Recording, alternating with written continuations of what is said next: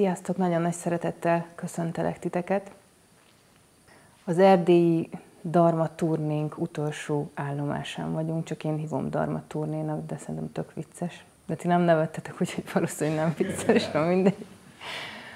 És itt vagyunk Pottyondon, aminek a, ennek a településnek, vagy város, város vagy falu? Falunak a neve nekem nagyon-nagyon megtetszett.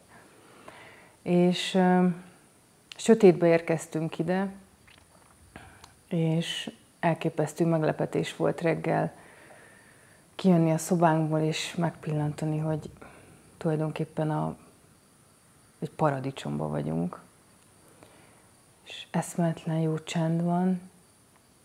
Még gondoltam is magamba, hogy fú, de jó lesz ezeknek majd itt gyakorolni, itt, azt, itt aztán tényleg csend van. Mi is ugye erdőben vagyunk, ha jártatok már nálunk Esztergomba, a mi gyakorlóhelyünkön, akkor tudjátok, hogy mi is erdőben vagyunk, de mindig van valami munkálat, és kicsit irigykedtem is, hogy itt ú, de jó csend lesz. Aztán délután itt ültem veletek egyet, és ugyanúgy ment a traktor, és ugyanúgy voltak zajok, de hát ugye ez mind kifogás, mert, mert tulajdonképpen teljesen mindegy, hogy, hogy zaj van, vagy csend van, gyakorolnunk mindig tudni kell. Na hát, ahogy kimondom ezt a mondatot, már nem tetszik, mert nem kell egyébként, de nyilván erre törekszünk.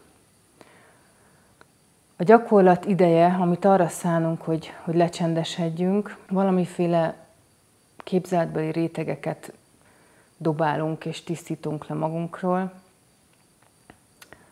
És a saját tapasztalatom az, hogy általában az a jó, hogyha ennek így nem tűzök ki célt, hanem csak úgy vagyok éppen az adott gyakorlatomban. És most, ahogy az előbb, most folyamatosan keresem ugye a medvéket, hogy hát ha látunk egy medvét, és és láttam ott egy ilyen kis neszt, és néztem, hogy na, mi az? És, és eszembe jutott, hogy nekem a legkevésbé használt gyakorlatom a mi ez kérdés. És ugye milyen érdekes, hogy a kisfiunk majd most ezt a kérdést fogja majd, hogyha elkezd beszélni, tanulni, hogy ez mi, ez mi, és, és mi ez, és, és folyamatosan erre kell majd válaszolni. Úgyhogy, úgyhogy ebben is gyakorlatba fog majd hozni mint minden másba. És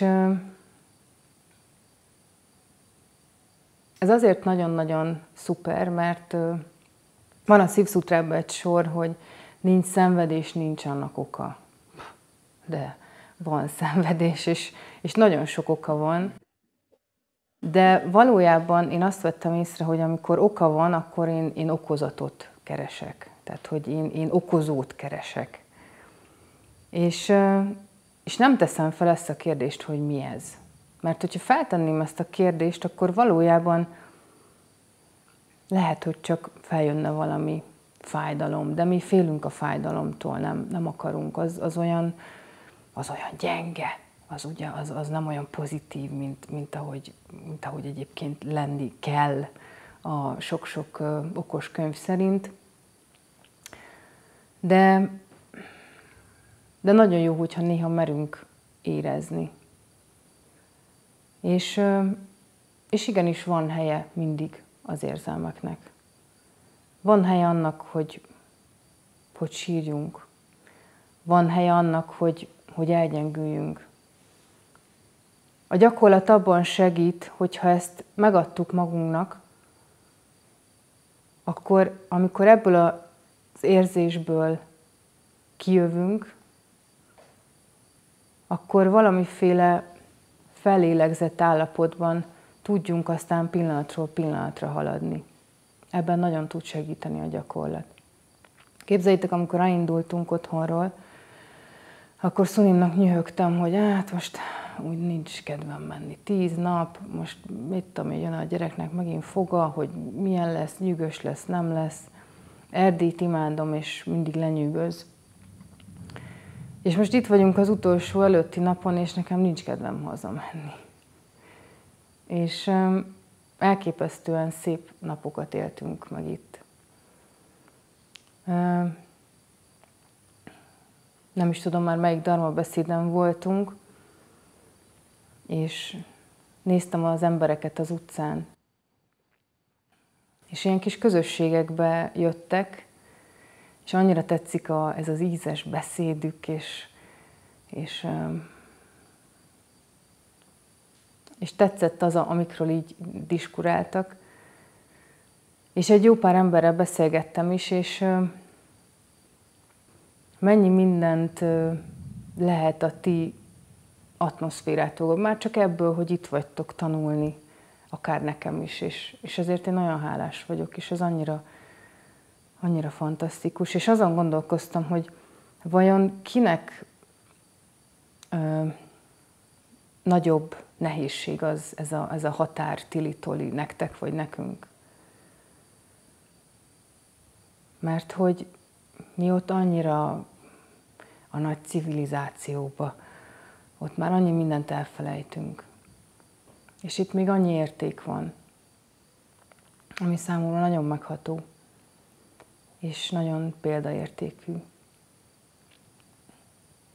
De igazából mindegy is, hogy kinek a könnyebb, vagy kinek a nehezebb, teljesen mindegy, mert nekünk abból a pillanatból kell kihozni a legtöbbet mindig, amit, amit éppen most élünk.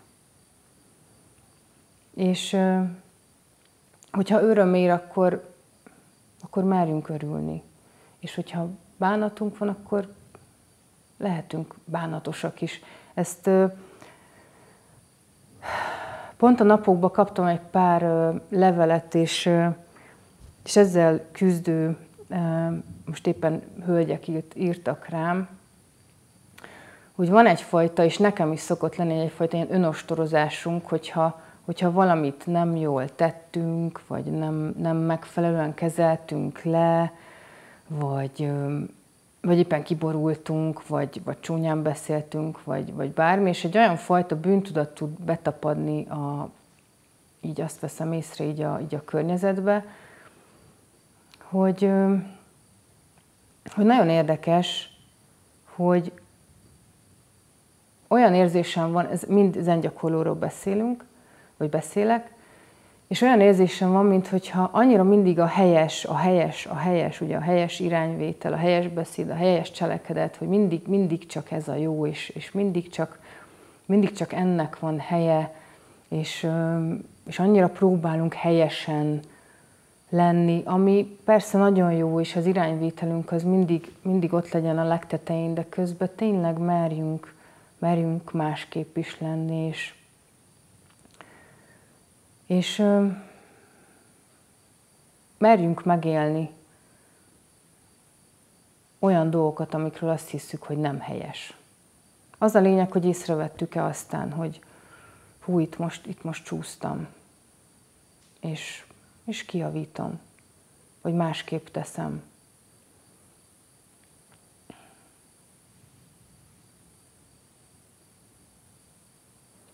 beszélek, és ahogy picit csöndben vagyok, az jut eszembe, hogy ezt az értékes csendet ilyen fecsegéssel töltöm.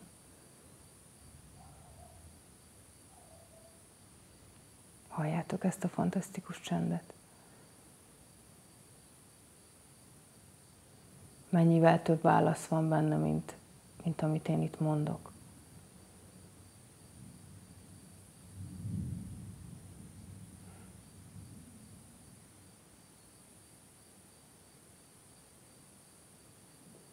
Szóval merjünk csendben lenni, merjünk a csendben észlelni, megélni dolgokat, és aztán merjük kifejezni is az érzéseinket. Én erre szerettem volna ma este felhívni a figyelmeteket.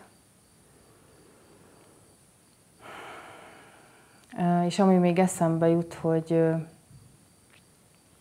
nagyon érdekes tapasztalat volt. Itt van az elvonulás helyszínén egy kis patak, és Benedek erre a patak hangra olyan fantasztikusakat aludt. És persze, hogy most kint vagyunk, nagyon sok Vasalbertet olvastam, és ilyen nagyon romantikus hangulatba kerültem. És az jutott eszembe, hogy, hogy mennyi mindent mesélhet neki a patak, amit mi nem tudunk elmesélni.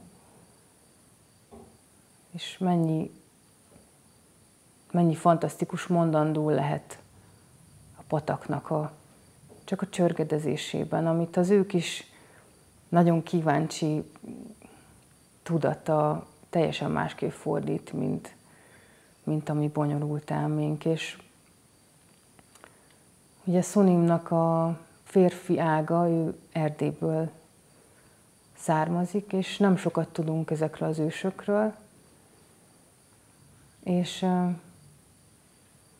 mondtam Benedeknek, hogy szerintem azért ilyen szuper a pataknak a csörgedezése, mert, mert az ősök is hallatszódnak benne.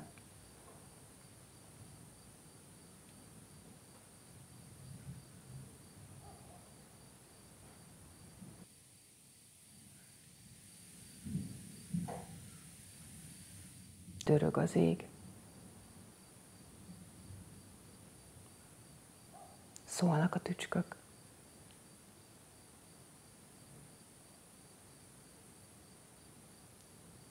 találjon a medve, hogy láthassak egyet.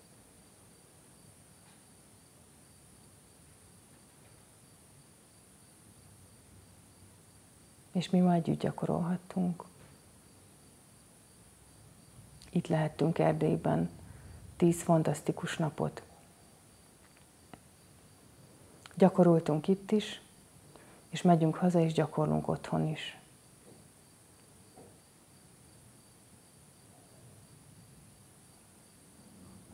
Köszönöm, hogy együtt lehettünk. És kívánom, hogy találkozzunk Esztergomban is. Mi is nagy szeretettel várunk majd ott titeket. Gyakoroljunk ott is és itt is, határon innen is, határon túl. Köszönöm.